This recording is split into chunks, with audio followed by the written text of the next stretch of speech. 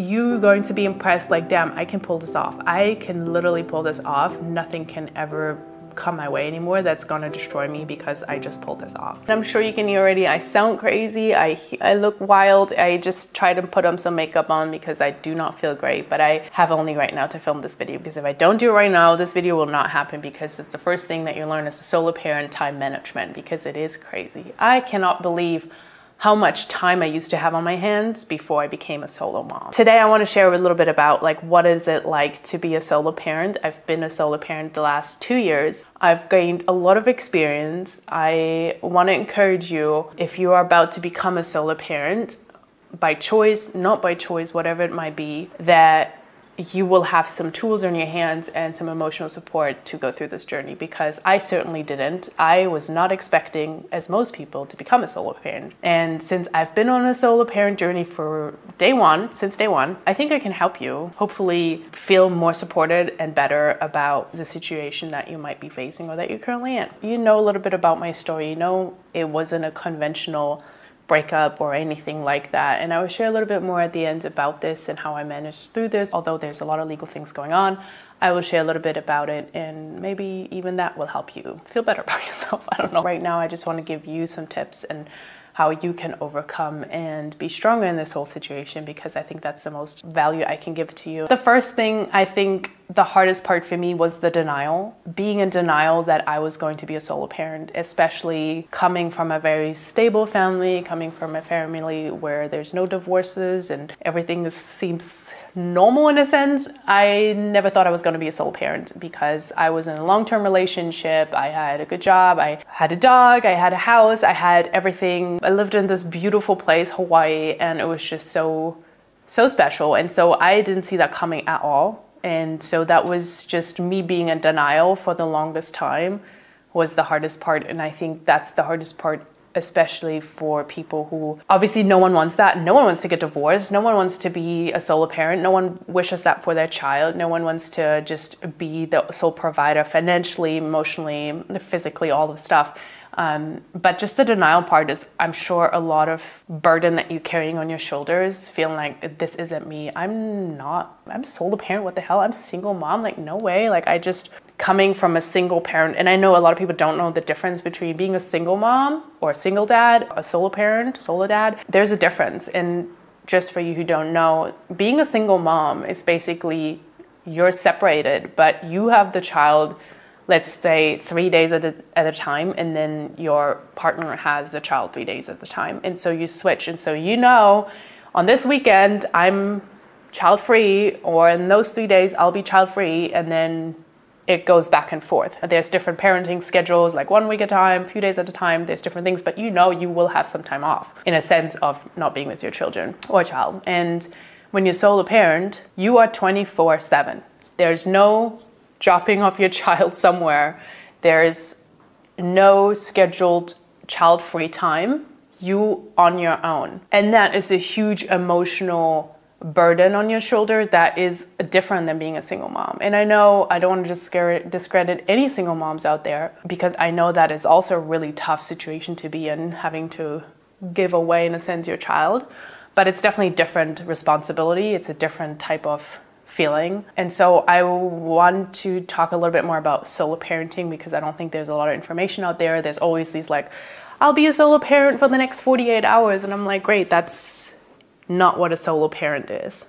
A solo parent doesn't have an end. And I think that's the biggest misunderstanding that most people don't get that there is no end to it. It's continuous and it's it's not finite in a way that, you know, this day I have time off and this day I don't. And so that's the biggest burden on someone knowing that you're on your own. And a lot of people do have the luck to have family and friends. I am living currently with my parents. I don't think I would have been able to pull it off without them. And so there's also a lot of people who don't have that. And that's just wild because just me having my parents support me is already feels like a lot and I cannot imagine people not having anyone. And so I came back to Germany because I was dumped pregnant and I was like, where am I gonna go?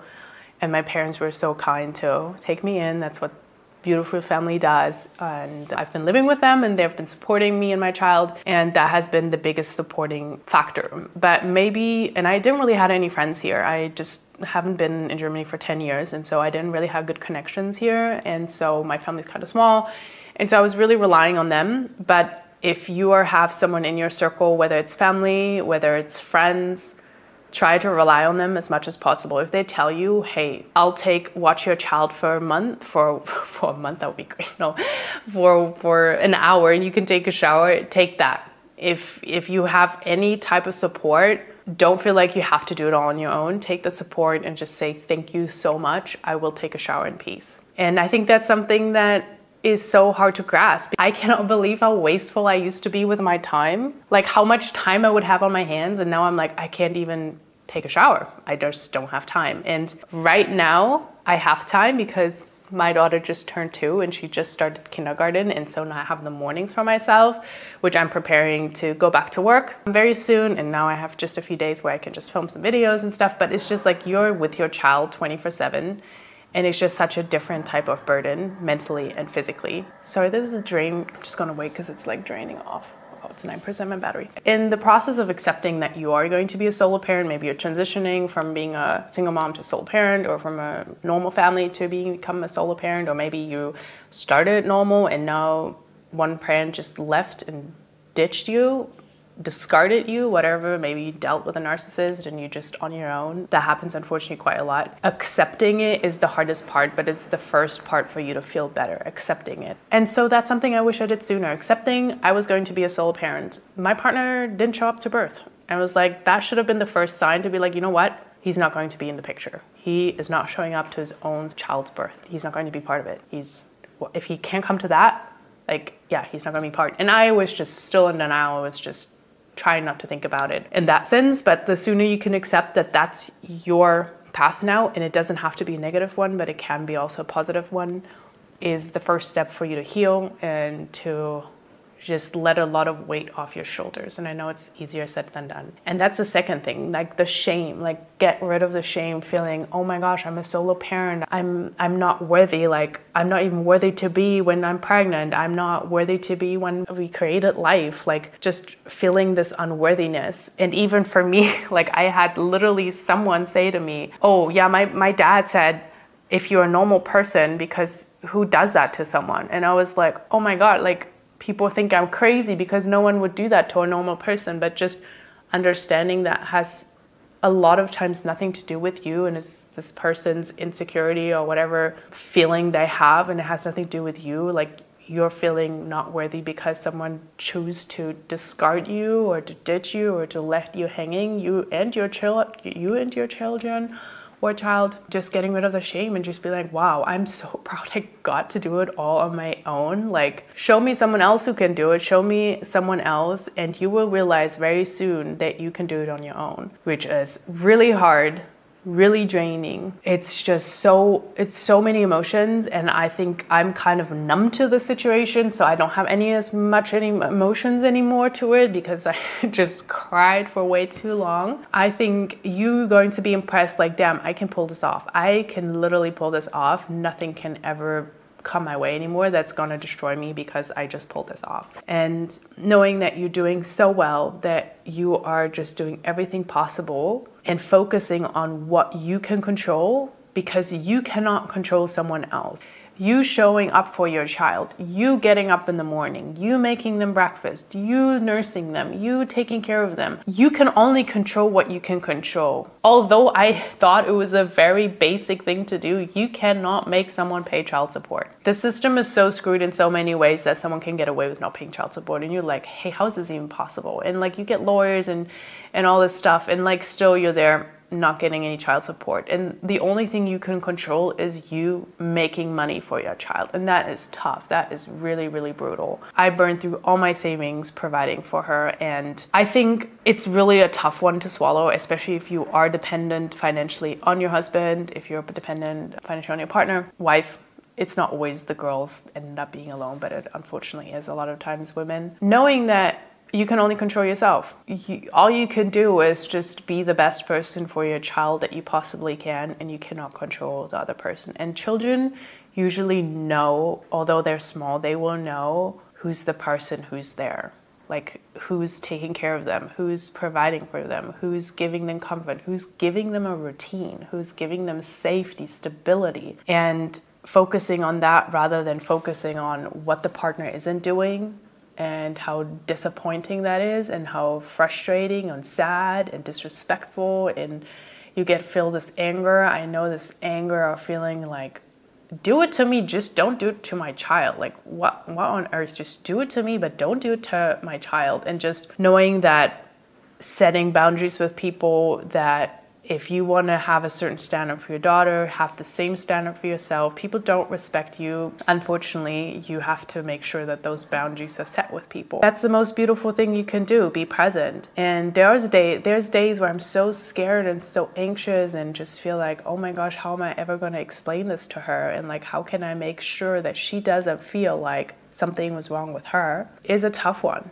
and I'm not a psychologist and I'm not a therapist and so I don't I can't really tell you what to do in that situation because I haven't figured that out for myself yet how I will make sure that she's not affected by it because eventually she will be affected by it but how can I minimize the effect? How can I make sure she doesn't feel neglected or left alone or abandoned? And I don't know that yet. And so I'm trying to figure that out with a therapist. But I just want to tell you focus on what you can control and how you can make it as easy for your children or child as possible. And the more energy you're wasting on being angry at that person, being in sorrow and being disappointed and just using so much of that energy. Try to use the energy because it is so exhausting. Try to put it all into your children and into yourself. That's the number one thing. Control what you can control. Sorry, my nose has been running crazy and the battery just died, but I just wanted to keep going on the video. Another important thing why it's so important to focus on yourself so you can wake up every morning without regret, every morning without feeling guilty. And I think that's the biggest part in this whole process that helped me was when I wake up, I don't feel any guilt. I don't feel any regret. I know everything I'm doing is serving my child, serving myself. And I think that's a beautiful thing. And I think that being said, a lot of times because you feel so many emotions. You feel so angry, you feel so disappointed, you feel neglected, you feel all kinds of emotions, or at least that's how I felt, is the number one thing I will always tell what happened to me. And it is a really fine line because my situation was so messy. I will never say a negative thing about her father, about her. I can recommend you do the same because at the end of the day, they're half off them. They're half of their father or mother, no matter what situation with your mom or dad, but biologically.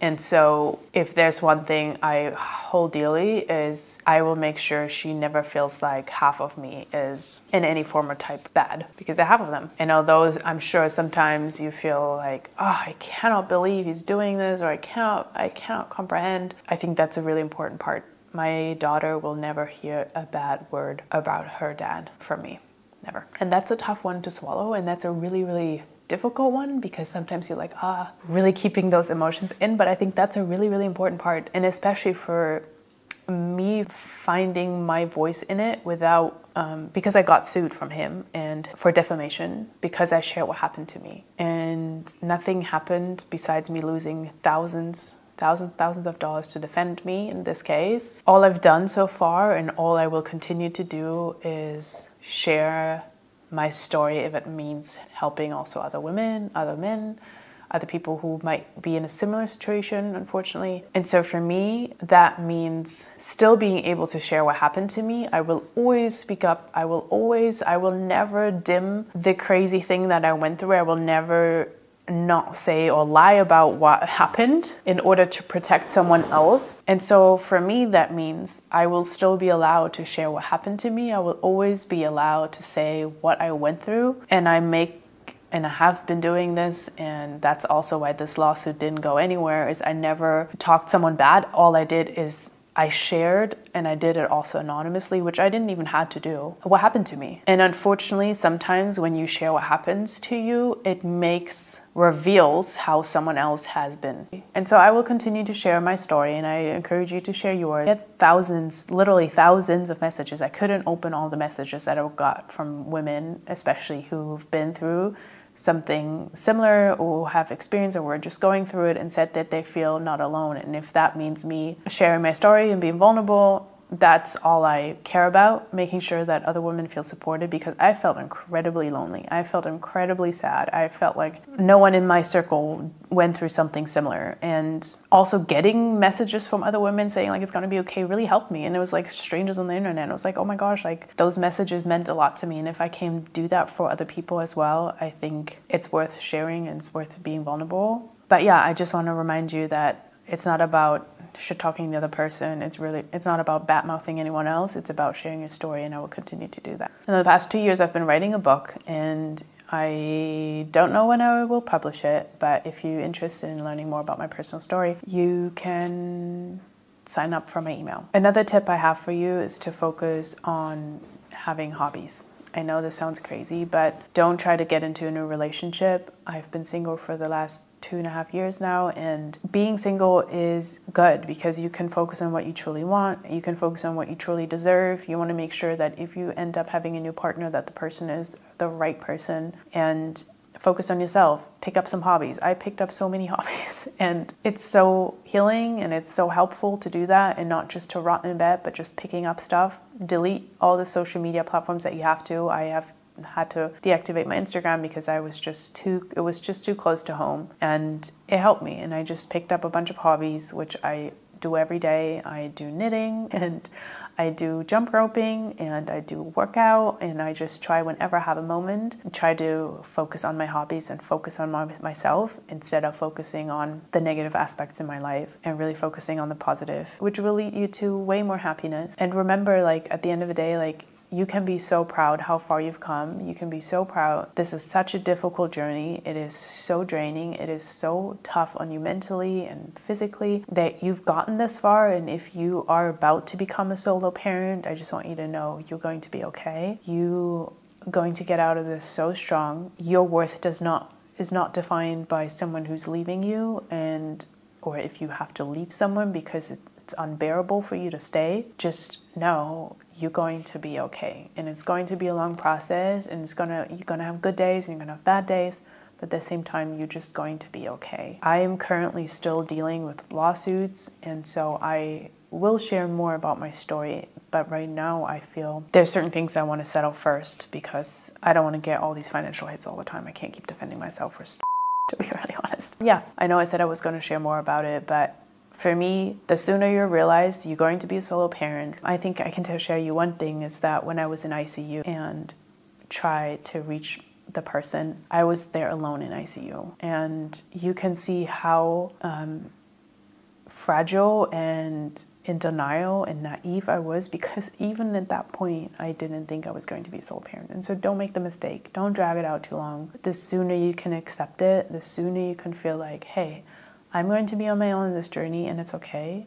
I will have friends. I will make friends. I'm right now trying to make friends. It's really hard when you're 29 and you can't really go out. Um, don't be so hard on yourself. You're going to be okay. And do not compare yourself to social media. I've seen people post on social media. When I was pregnant, I would see them being engaged, I would see them being pregnant. I, they posted all over social media. But for me, it was very obvious because I know social media is fake, but when I saw things that were happening with lawyers and then I saw what was posted. I was like that is not representing what's going on but okay you do you. And so you know that sometimes you can have a black and white on paper and see what is happening in someone's life and what they're posting. It has nothing to do with reality. It has nothing to do people who excessively post about their relationships probably compensating something that they don't have. And so yeah don't get sad about it because it can get really sad I think I even get more sad when I see in public like someone being in a really beautiful family. But I try not to get jealous. I try to know that one day this will be in my cards and I will have that family and it might not be right now, but it will happen eventually. And I know then what I want and I know what I can bring to the table and that I'm strong and I'm not coming from a place of lack, but I'm coming from a place of I can do so much. And if you can add value to my life and if I can add value to your life, it might be a possibility for you to have a new family. And um, I hope that so much for my daughter and I hope that so much for myself as well. But until then, I know I will be okay on my own and I don't need that external validation. I'm still sick and but I'm not in Germany anymore. I just woke up in Spain, which is so nice. But I wanted to finish off the video with something really important, and that is I want you to remember that every good story, every good outcome never started from it was so easy and we just coasted along and life was easy and breezy. It's good stories start with something hard. Good origin stories starts with something meaningful, something difficult to overcome. And you have a really good opportunity here because you can show, look, I became this person despite this happening to me. It's not just this victim mentality, look what's happening to me, everything is horrible. But it's you showing up and saying, look what I got done despite this happening to me, despite those obstacles that I had. That's a good origin story that starts from something difficult, something that you never thought you would have to overcome and go through, but it will allow you to actually become a person that is more valuable. You're going to be a more valuable person after you went through this. You're going to have so many more skills under your belt. You're going to be more valuable to the next person that you let in your life because you're going to say, I'm not accepting this bare minimum here anymore. I'm not going to just accept someone love bombing me or treating me nice and then when it's convenient they they stop treating you nice. It's you're going to accept only people into your life that will reach you at the new level you were at because you're no longer this old person. You're no longer at the spot of that you were before this happened to you because you had to go through this crazy time. You had to overcome this crazy obstacle and no one is going to be allowed in your circle anymore who's not adding value to the new person that you are. And that's so important. That's why I was preaching stay single as long as you can, just so that you know what you want. And you're like, what? This is what I used to be attracted to? This is what I let into my life? You're going to be like, what was I? What, what, what was I thinking?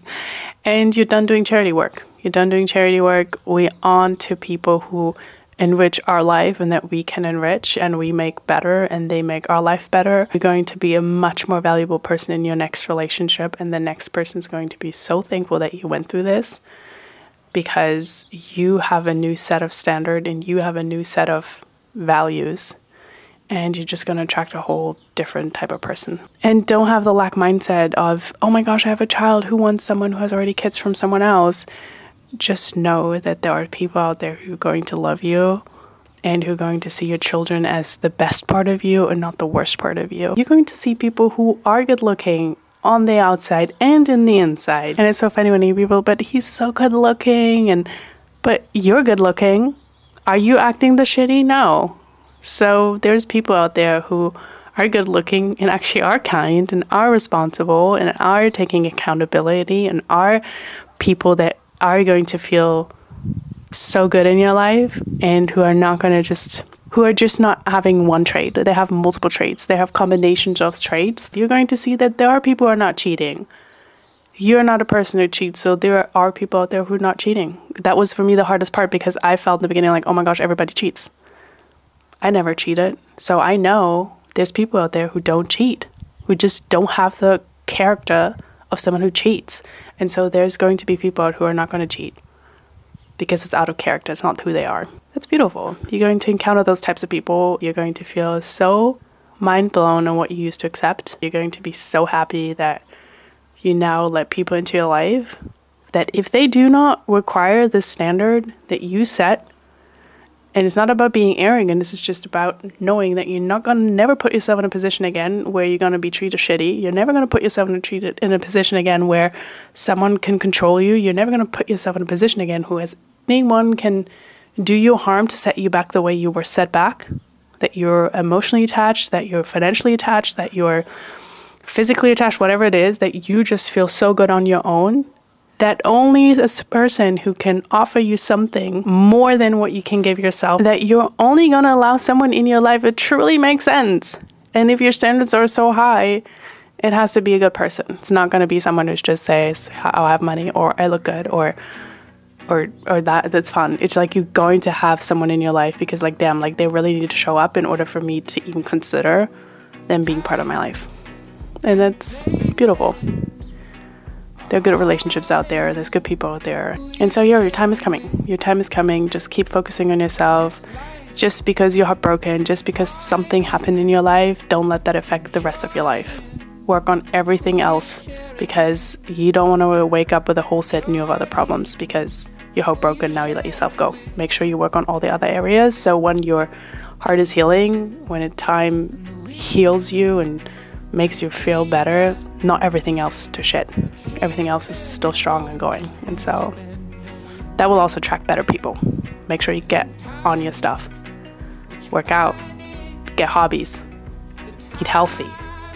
Be around good people, do some volunteering, do something that makes your heart feel better, and you're going to attract better people. And one little thing I like to do if I feel like not good enough, I think about someone I really admire, someone who has such a good energy and who has such a like good confidence. And I don't know, I don't know an example right now, but for example, um, I don't know, Kylie Jenner. It's not my my favorite person, but like she's a person who's definitely had has good confidence. You think like, damn, like she has really good confidence. And just remember, would she accept that? Would she call back the guy? Would she run after this person? Would she accept the bare minimum? Or would she just be like, whatever's meant to be will find me? I think that's something she said actually. But would she would she be like that, or would she be like begging someone to choose married? Would they be begging, chasing them? No. So if for a day you feel a little bit down, just remember, would she do that? No. So why would I? But yeah, you're going to be fine. You're going to be just great, and I wish you all the best. And be kind to another.